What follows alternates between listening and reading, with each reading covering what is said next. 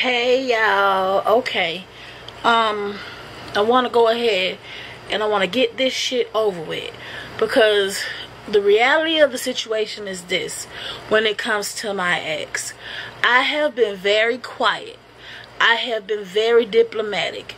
I have been very uh closed off really about what happened between us and what he did to me.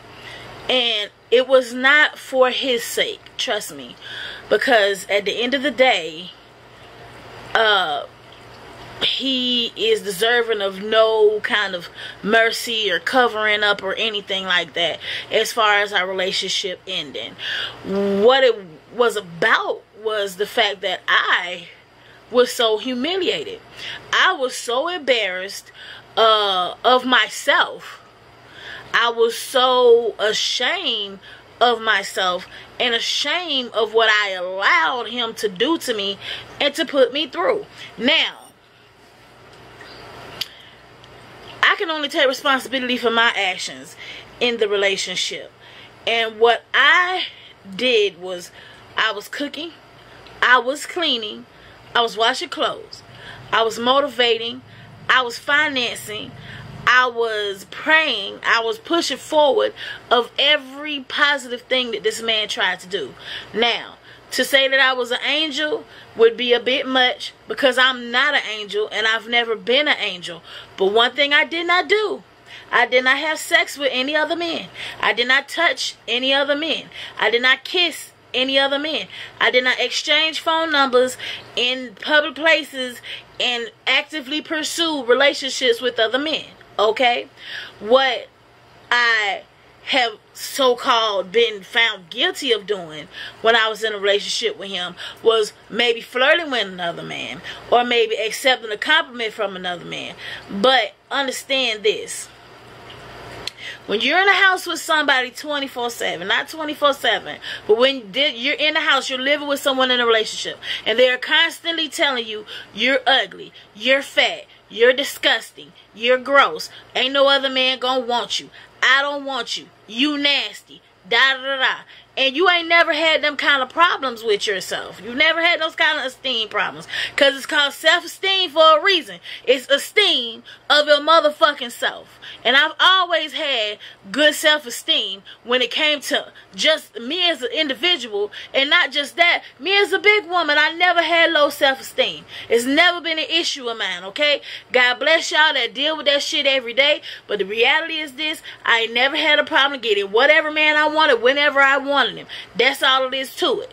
Okay? I love I, when I was in my 20s, I used, it used to be a thrill for me to get with a nigga that said he don't like big girls. Because by the time I was through with him, he didn't just like big girls. He loved this one.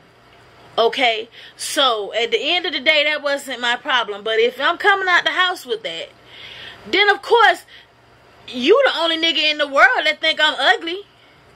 You the only nigga in the world that think I'm disgusting and all this and that the third. Even people who don't have no appreciation for people that are big can't call me ugly. Cause there's nothing ugly about me on the outside, but most importantly, there's not no ugliness about me on the inside. The heart of me is pure and true. Now, I kept my mouth shut because of that reason. I was ashamed. But here it goes. Because I months and months and months later, I get pulled in to one of his schemes that he used on me for him to use on his new girlfriend. And I know this scheme because he used it on me. The scheme of my ex is trying to holler back at me. But I'm going to tell her off in front of you so that you know that I ain't that kind of nigga. I'm a faithful, true kind of nigga he put the exact same scheme on me. If I go back far enough, I could probably pull up the inboxes of when he did the exact same scheme to me. He has a forte. And one thing, if you never said nothing about the devil that was positive about the devil, I'm sorry. And it might be wrong to say, but the devil had perfect timing. Okay? The devil knows when to sin and knows when to try to get in. Okay? And that's all it was when I got in a relationship with him. So here it goes. Okay? All the right combinations of buttons have finally been pushed. Even though I'm doing whatever I want to do, I am successful. I have what I need. I have what I want. I've been in counseling for the longest over this. I'm finally trying to get over what was done to me. And honey, I've been dating since the get go. But I ain't trying to be in no relationship with nobody because I don't feel safe enough to be in a relationship with nobody right now. Okay? But I'm engaged. Get me straight. Get me straight. Okay? Anyways, I digress. Because that'll be a whole nother video. Kevin Berrien beat my ass for two years of my life. Okay? Two years of my life. I was in a relationship with somebody that wasn't in a relationship with me. And I mean that wholeheartedly. I was 100% in a faithful, loyal, respectful, loving relationship with Kevin Berrien for two years. But he wasn't in a relationship with me.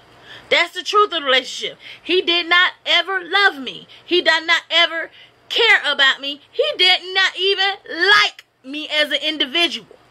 Okay? There was nothing about me that appealed to him physically.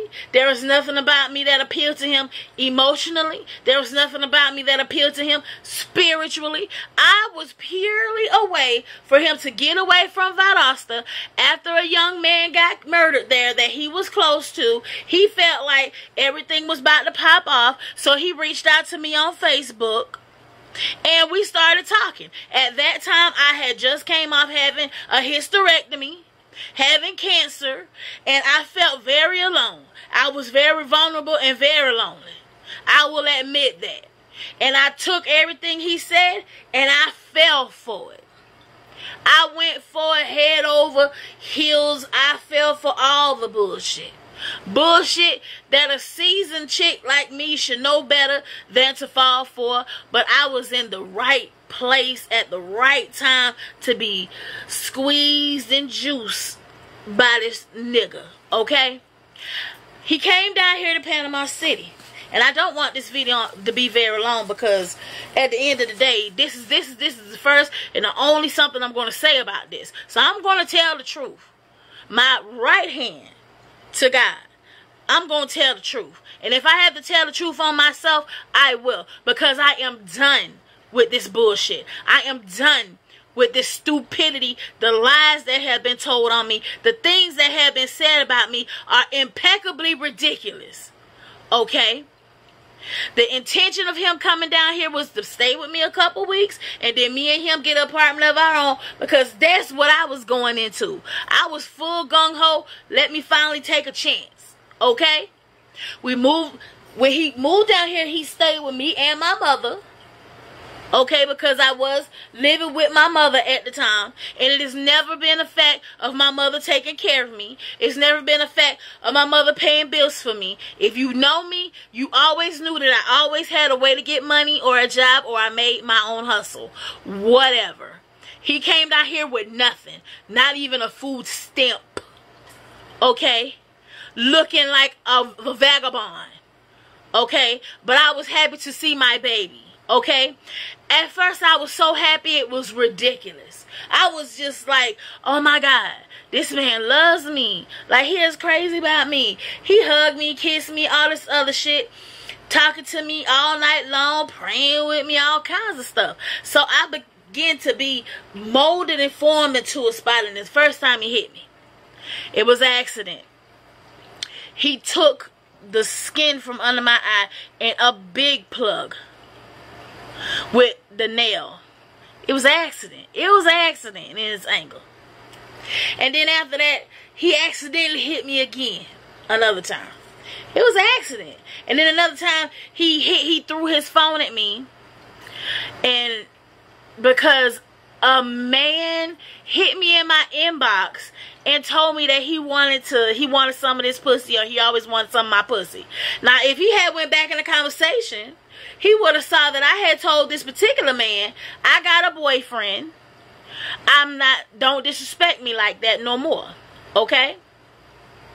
This is somebody that I've known for years. Is he's they're practically like family. Okay? We move into our own place. Our own place.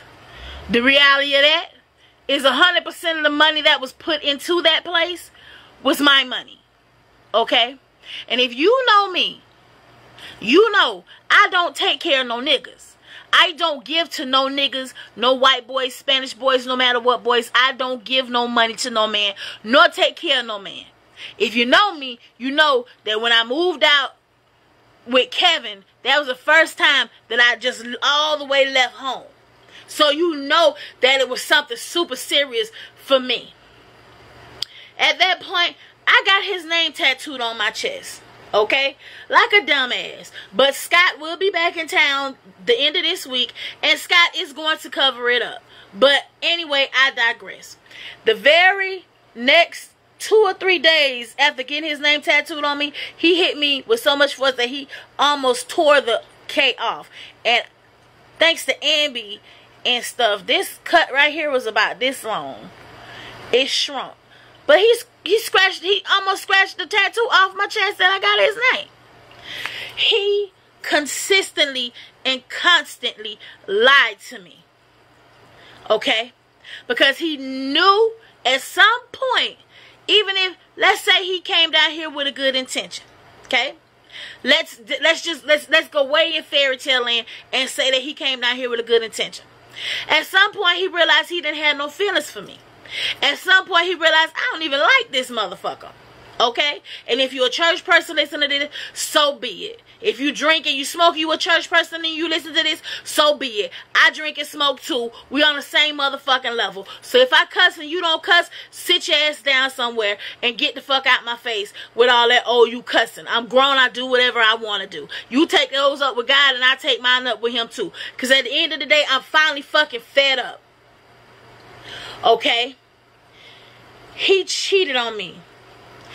Time after time after time after time after time after time. I did not know that he was cheating on me like this. I had no idea he was cheating on me like this. At the end of the day, he must have been cheating on Saturday mornings when he say he would go in for a short shift at work. And he must have been cheating when he said he was staying late for a work. Because the truth of the matter is, he never had a job while he was here. He worked for labor.